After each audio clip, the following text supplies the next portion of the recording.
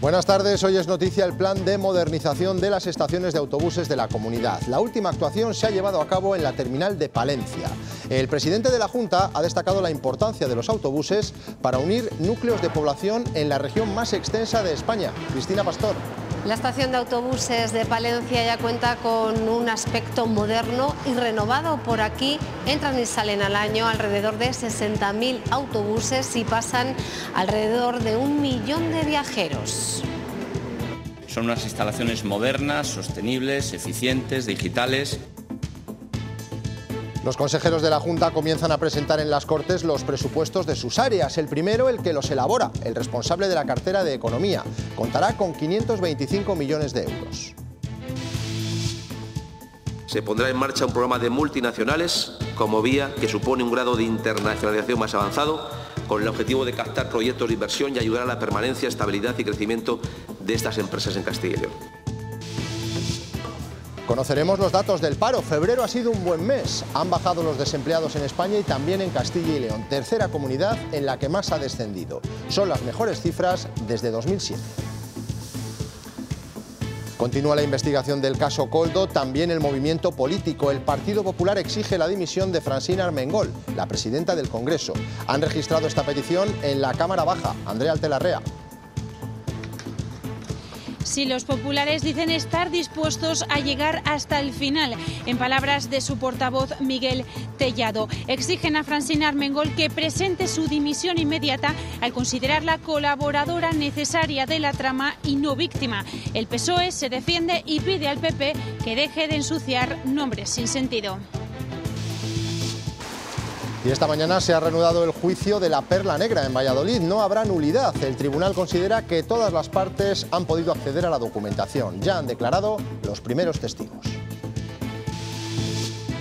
En Burgos, un joven ha sido detenido este fin de semana tras desmantelar un laboratorio con numerosas sustancias y elementos para fabricar explosivos. Además, en su casa encontraron un importante alijo de droga. Se está a la espera de que pase a disposición judicial. Dejamos atrás las nevadas, pero seguimos con tiempo inestable, con algunas lluvias y cielos nubosos, aunque esta tarde se despejan en la comunidad. Silvia. Sí, tras el paso del frente va a haber abertura de claros, sobre todo hacia el oeste de la comunidad, aunque en el noroeste seguirá esa precipitación en forma de nieve, ya que la cota bajará. Las temperaturas van a ir bajando y a lo largo de la noche se registrarán heladas más generalizadas en prácticamente toda Castilla y León. Son los cocineros campeones de España en la modalidad tortilla de patata. Hoy han dado una masterclass en Burgos y han enseñado sus trucos para conseguir que quede perfecta en fondo y forma. Lo vemos en unos minutos.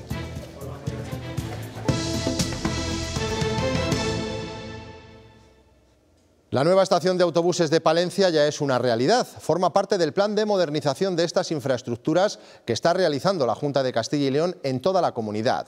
La definen como moderna, sostenible, eficiente y digital y llevará el nombre de Blanca de Castilla. Cristina Pastor.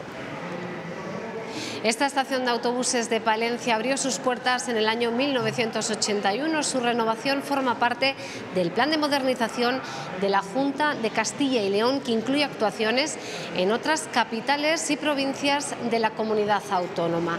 El gobierno autonómico apuesta y considera clave este transporte para comunicar los diferentes núcleos de población de la comunidad autónoma más extensa de toda España.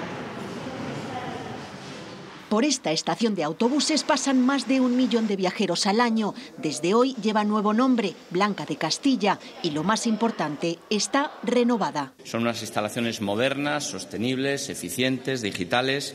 La de Palencia es la última obra que se ha incluido en un plan de modernización de estaciones de la Junta, con el que se quiere potenciar las zonas comerciales, que las esperas sean más cómodas y crear estaciones inteligentes propias del siglo XXI. Estamos invirtiendo más de 35 millones de euros. En la red de estaciones de autobuses de titularidad autonómica, algunas como la de Burgos o Segovia no lo son, ha habido muchos cambios. León, por ejemplo, despedía 2023 haciendo realidad este proyecto. Queremos hacer una renovación estética, queremos reorganizar mejor el espacio. A principio de año se inauguraba la de Soria, que pasaba de golpe del siglo XIX al XXI. Queremos hacerlo no solo más inteligente, sino también más accesible a todas las personas. En los últimos años se han renovado las de Ávila, Salamanca o Ciudad Rodrigo. Se trabaja ahora en Ponferrada y Benavente y adjudicada está la de Almazán. Otras, sin embargo, siguen a la espera, como la de Valladolid, en la que se sigue viajando a otra velocidad. Los distintos consejeros de la Junta han comenzado hoy a explicar sus presupuestos para este año en las Cortes. El primero ha sido quien los elabora, el de Economía y Hacienda. Contará con 525 millones, un 3% menos, pero la reducción por la reducción de la llegada de fondos europeos. A inversión destinará 80 millones, donde destacan proyectos para la instalación de empresas como el Parque Tecnológico de Boecillo. Fomentar las exportaciones será uno de los objetivos para el presente ejercicio. Se reforzarán las acciones para facilitar la salida al exterior de los productos de la comunidad diversificando tanto los mercados como los sectores. Para ello, Carriedo asegura que se pondrá en marcha un programa de multinacionales que permita captar proyectos de inversión y se continuará fortaleciendo a las empresas en el ámbito digital. Lanzaremos una plataforma de emprendimiento donde pueden interrelacionarse todos los agentes del sistema emprendedor de la comunidad. El consejero de Economía destaca la importancia industrial y también ha tenido palabras para la situación del campo. Un sector agrícola competitivo pero que está atravesando serias dificultades. También anuncia que se apoyará a las pymes y autónomos.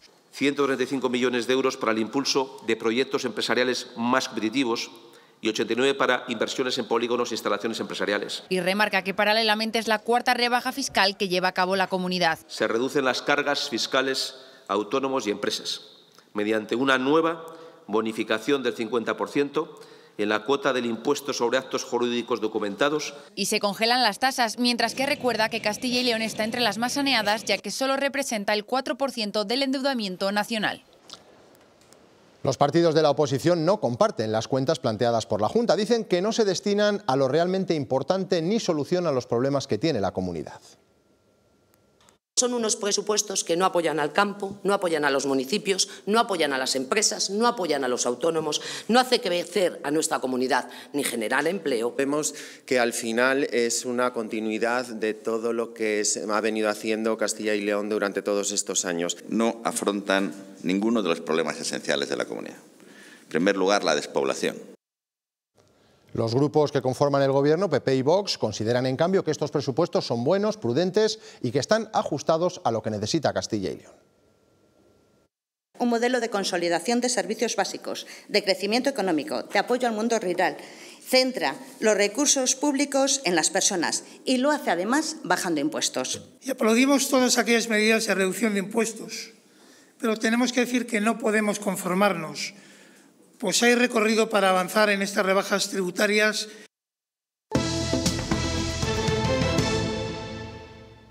El Partido Popular estudia citar a Pedro Sánchez en la comisión de investigación que abrirá en el Senado sobre el caso Coldo. Justo hoy, los populares han vuelto a exigir la dimisión inmediata de la presidenta del Congreso, Francina Armengol. Lo han hecho registrando esta mañana esta petición. La señalan de ser presunta colaboradora por comprar mascarillas defectuosas por casi 4 millones de euros. Andrea, volvemos contigo. Sí, ya de manera oficial y formal, el PP exige la cabeza de Francina Armengol. La consideran colaboradora necesaria de la, de la estafa y aseguran que no está a la altura política ni moral de ser la tercera autoridad del Estado. A Sánchez le piden de nuevo explicaciones, le acusan de conocer la trama desde el principio y aún así hacer la vista gorda. Entre tanto, el PSOE defiende que la actual presidenta del Congreso no aparece en el sumario del caso y pide de Atellado que deje de ensuciar nombres y de hacer ruido. Por su parte, Sumar reclama que la investigación llegue hasta el final nos reservamos la decisión de eh, someter a comparecer en esa comisión a todo aquel responsable político. Los españoles no merecen un gobierno que miente y un gobierno que tapa la corrupción. Acusaciones gravísimas, sin ninguna prueba, mucho menos indicios al margen de las investigaciones judiciales. Hay que ser implacables contra la corrupción, venga esta de donde venga. Y según el Confidencial, la esposa de Pedro Sánchez, Begoña Gómez, se reunió dos veces en secreto con el consejero delegado de Globalia, propietario de Air Europa. Fue en junio y julio de 2020. También con el presidente del Zamora, investigado en la trama Víctor de Aldama. Fechas en las que se cerró el rescate de la aerolínea. Un salvavidas que, según un informe de Hacienda, fue el origen del caso Coldo. Desde el PSOE hablan de coincidencia temporal. Y en pleno estallido de este caso se ha realizado el sondeo electoral que hoy publica El Mundo. En él el Partido Popular se dispara y si hubiera elecciones generales obtendría hasta 163 escaños, 26 más que en los comicios de julio. El PSOE por su parte perdería 6 de los 121 que logró entonces. Vox y Sumar también perderían apoyos.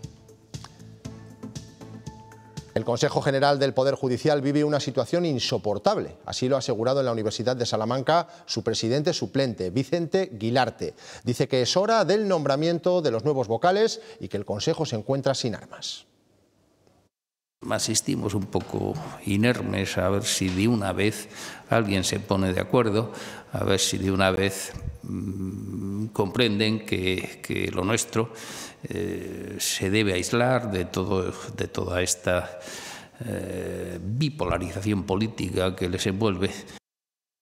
En Valladolid se ha reanudado esta mañana el juicio de la Perla Negra tras la devolución del caso al juzgado de instrucción hace dos años por la falta de un disco duro en la fase de cuestiones previas. Hoy ha superado ese momento y los primeros testigos han prestado declaración. Óscar García. Tras una década de instrucción, 90 testigos y peritos tendrán que declarar al menos durante las próximas 14 sesiones. Después de estas pruebas testificales, será el turno de los acusados, que está previsto que declaren el próximo 11 de abril. En esta segunda sesión del juicio de la Perla Negra se han desestimado todas las cuestiones previas que solicitaban la nulidad del juicio.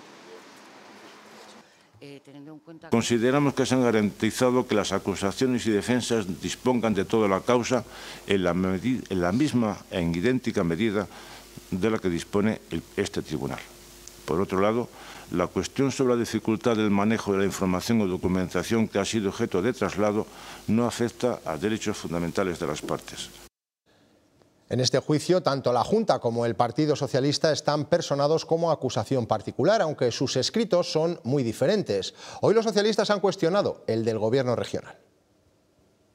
La Junta de Castilla y León, si ustedes miran su, escrito, eh, pide las penas de prisión más baja, las indemnizaciones más bajas, las responsabilidades civiles y penales más bajas y es curioso también ver cómo, por ejemplo, hay, eh, eh, hay acusaciones que ni siquiera realiza.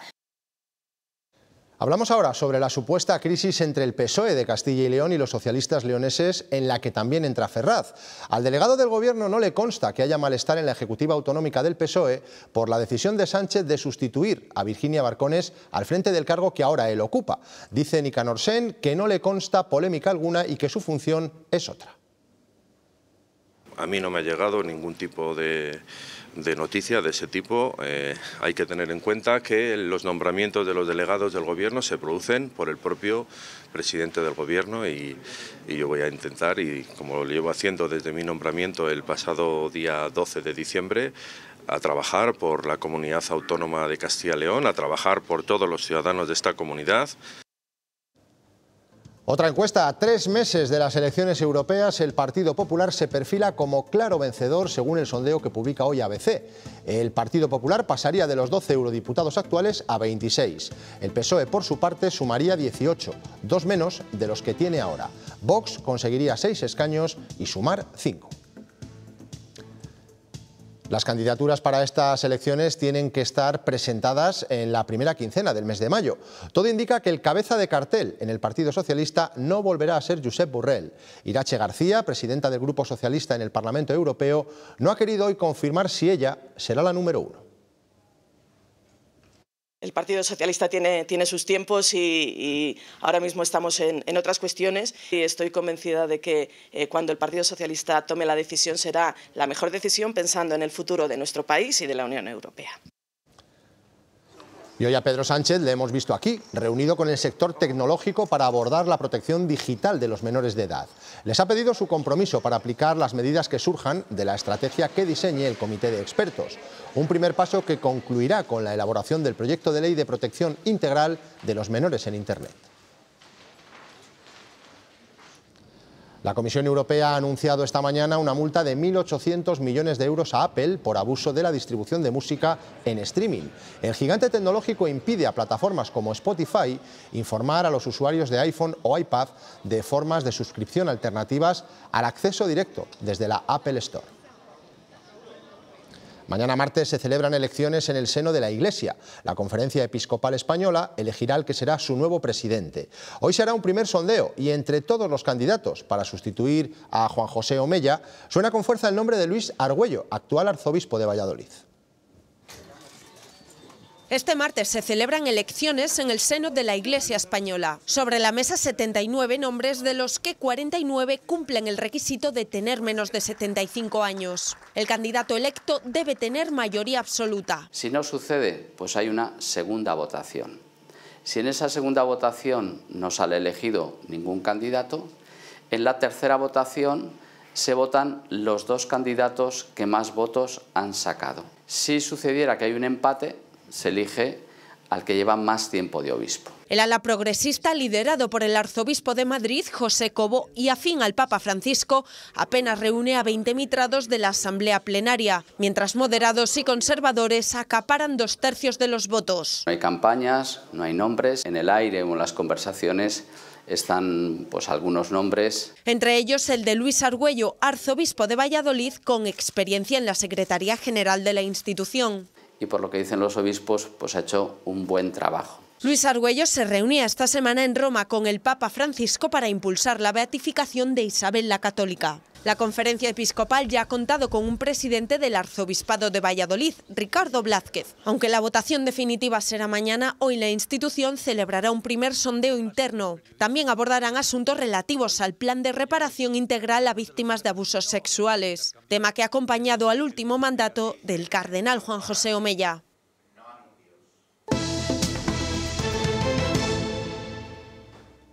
Febrero ha sido un buen mes para el mercado laboral. El paro registrado descendió tanto en Castilla y León, la tercera autonomía con mayor caída porcentual, como en España.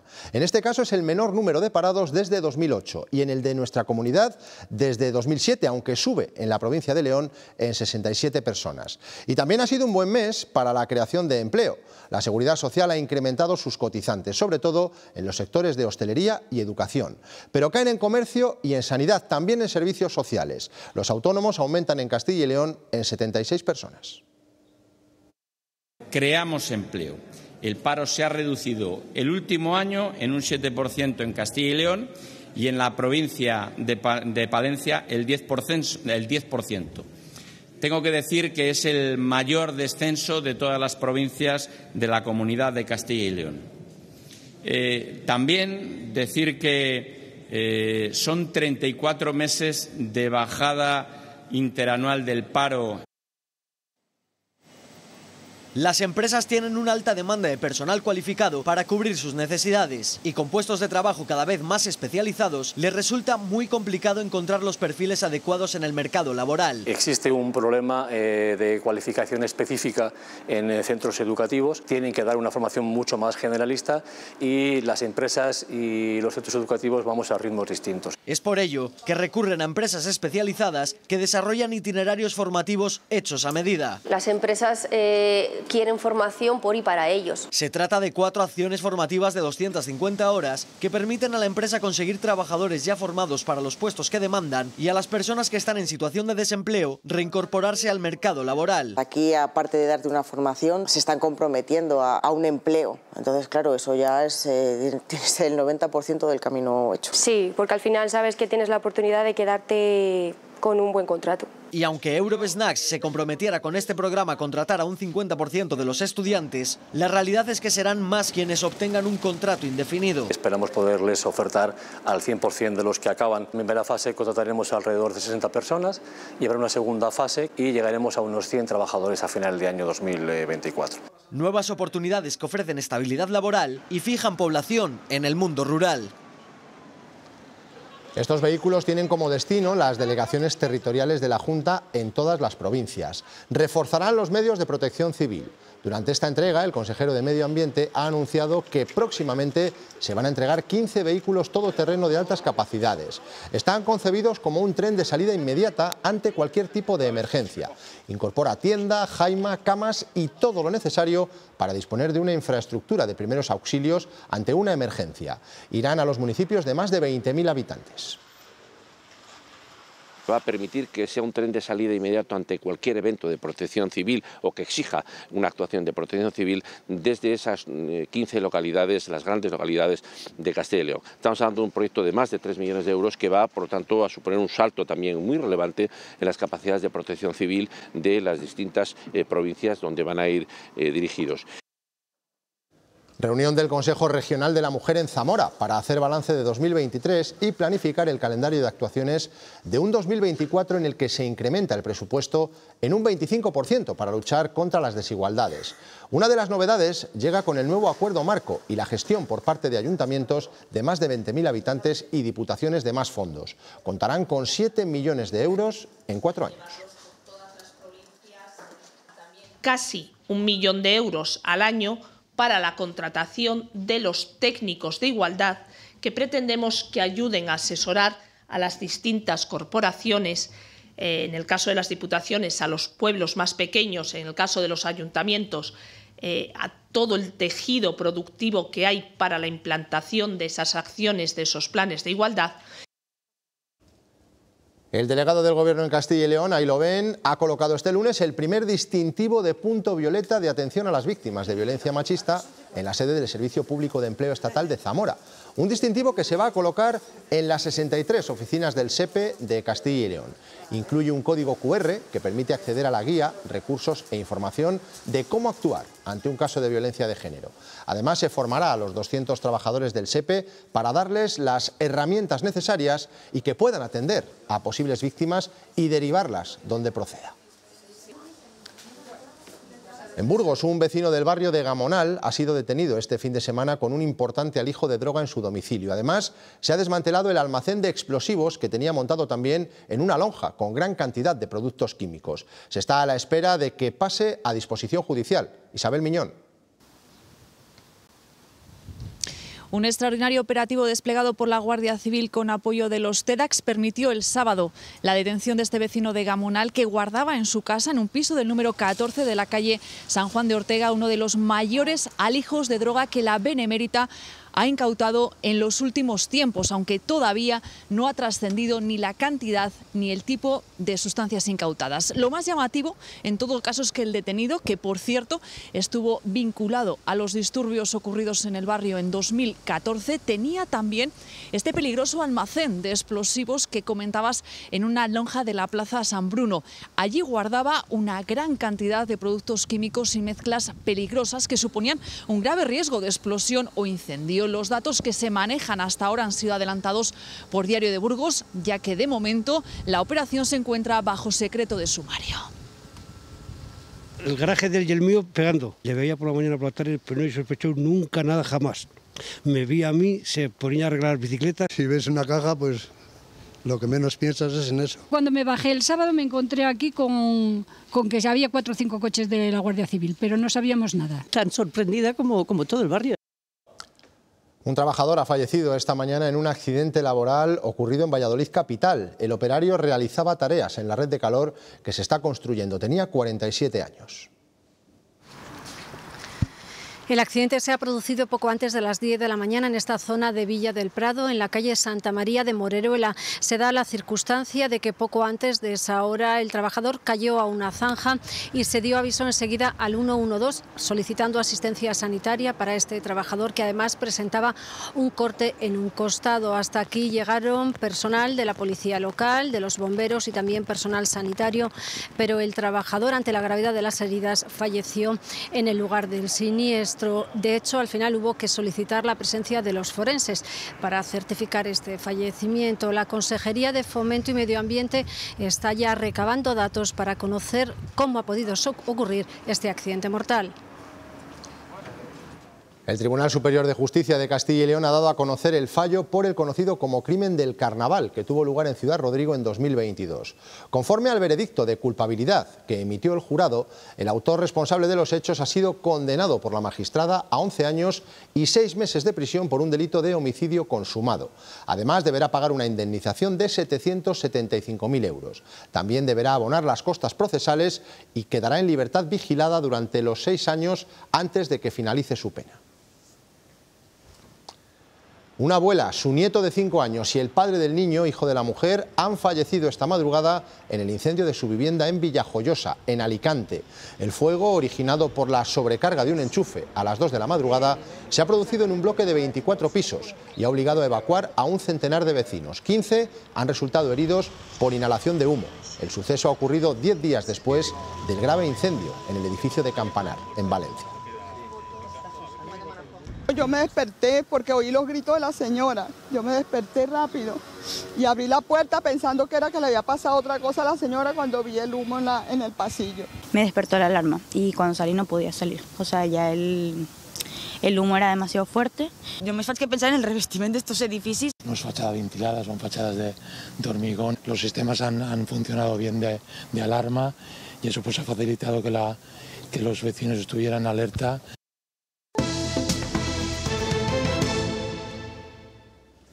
Son los mejores cocineros de España elaborando tortillas de patata y hoy han dado una masterclass en Burgos. Han enseñado los trucos para conseguir el plato perfecto. Estas jornadas son previas al campeonato que se va a celebrar en la ciudad. Comenzará el 1 de abril y se busca dar con la receta más sabrosa y original.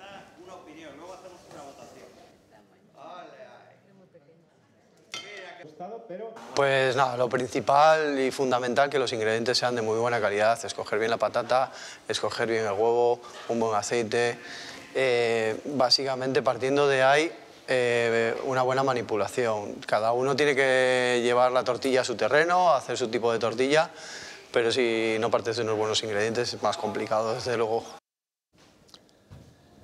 Mirar cada una de estas fotografías y entender de un vistazo la historia que tienen detrás, la de los que cuidan y, de la, y la de los que se dejan cuidar. Es la propuesta de la exposición que ha organizado en León el Hospital San Juan de Dios con los participantes de su certamen internacional de fotografía sobre humanización asistencial.